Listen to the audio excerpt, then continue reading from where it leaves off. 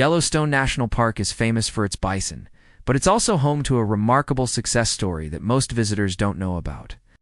In the 1990s, beavers were nearly extinct in Yellowstone. There was only one small colony left, but thanks to a major restoration effort. 129 beavers were released into drainages north of the park between 1986 and 1999, and the results were nothing short of spectacular.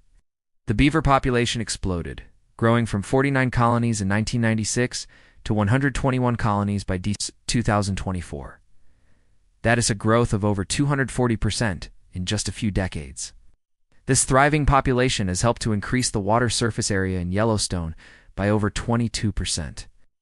They've also restored critical wetland habitats that were in danger of disappearing.